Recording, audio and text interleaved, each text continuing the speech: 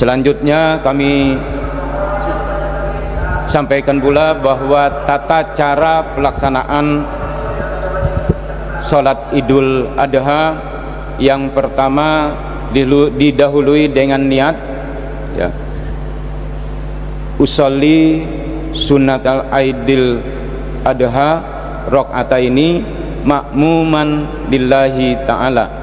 Kita sebagai makmum ya, tentunya sebagai makmum. Imam nanti makmuman imaman ya. jadi saya ulangi usolli sunnatal aidil adha rokata ini makmuman lillahi ta'ala. Nah setelah itu membaca takbiratul ihram Allahu Akbar. Tujuh kali dan diselingi setiap tujuh kali itu Allahu Akbar membaca subhanallah walhamdulillah wala ilaha illallah wallahu akbar. Jadi pada saat rokaat pertama tujuh kali. Setiap Allahu Akbar tujuh kali membaca subhanallah walhamdulillah wala ilaha illallah wallahu akbar.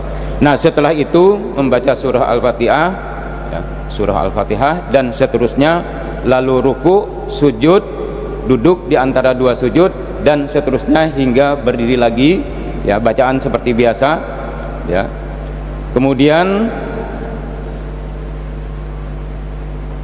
kembali pada rakaat kedua.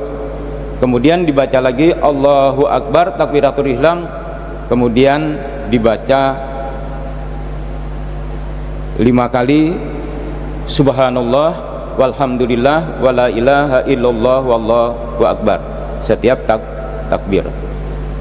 Nah setelah itu lalu membaca surah al-fatihah dan seterusnya lalu ruku dan sujud dan seterusnya sampai salam.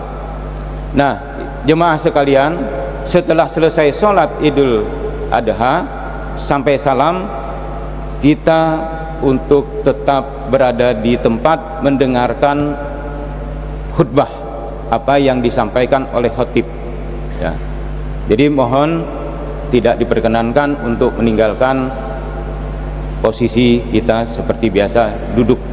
Kita duduk mendengarkan khotib untuk berkhutbah. Demikian kami sampaikan. Wabillahi taufiq wassalamualaikum warahmatullahi wabarakatuh